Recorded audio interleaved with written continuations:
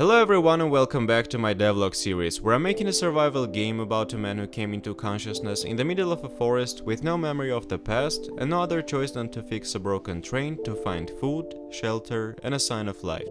In the last episode, we went over the inventory and the quest systems, showcased the new day and night cycle, and today I'm back with new updates about the game. It's been by far the toughest two weeks since the start of the project, and I don't know what kind of magic this is outside Hogwarts, but as soon as I got a comment requesting to share some difficulties and problems I'm having during the development, I just started having problems. See, this is my first time making an inventory system in any of my games, so knowing how difficult it is to make one, I decided not to reinvent the wheel and just find a good tutorial on making an inventory system. And everything was working perfectly fine with my current items such as coal or wood, until I tried to add guns. The thing is, when the player uses a fuel item to feed the train, I just remove the item from the inventory without changing any data about it. But the guns, like many other items, have specific data such as loaded bullets amount that have to be stored somewhere and be changed when the player uses the item. And with the implementation of the most tutorials on inventory systems, this is basically not possible because of this one tiny detail detail. So right now if I add a water container item to my game and drink from one, all the other containers in the game will also get empty. So I guess it's time to reinvent the inventory. Luckily for me, I found a random guy on Discord who did his best to explain to me how to handle data persistence between the different states of the items. And after 3 days of suffering, we have a new inventory system that looks absolutely the same for you, but is now a big PP brain behind the scenes. And with this new system, we are finally ready to move on to the main topic of today's video. As you know, know from the previous devlogs, the player will be constantly leaving the train to explore different areas in search for supplies, and those areas will be filled with wildlife, like bears and coyotes, so the main usage of guns will be for self-defense. Now, you might think that adding guns is easier, since making a first-person shooter is basically the first devlog video of any game dev YouTuber, and it's partially true if you are making a small game, but with the scope of my project that is meant to become a commercial game, everything is much more difficult to implement. In my game, there will be other items besides guns which the player will pick up and use. So even though I'm only adding guns for now, the whole system should be designed to work with other items. There will mainly be two types of guns in the game. A flare gun which the player will find in the train right from the start, and a shotgun which the player will find later when exploring the abandoned houses. So after 3 days of coding the new system, we can pick up the guns from the ground, hold them and shoot. I'm very happy with the system I came up with as it's pretty modular for my needs and if I decide to add more guns to the game, it will be a matter of minutes. The Cinemachine package we started to use since the last video also came in handy, as it allowed us to make very cool camera shake effects with its built-in tools. I especially love how the flare gun visuals turned out during the night time. I haven't yet decided if I want to have actual hands for the player, and partially that's why the guns have no reload animation right now. Speaking of hands and other 3D models in the game, I'll have to outsource that part to speed up the development process and to achieve better visuals than I'll be able to make myself. So if you would like to support the development of the project, Consider checking out my Patreon or just showing some activity under the video so it gets more views. I hate bringing this up, but working full time on this project means that the money from the videos is the only income source I can reinvest into the game to keep it going. I would love to have more visuals to show you in the video, but that's the reality of programming. You spend days solving problems people don't even know existed. That's it for today and see you in the next one.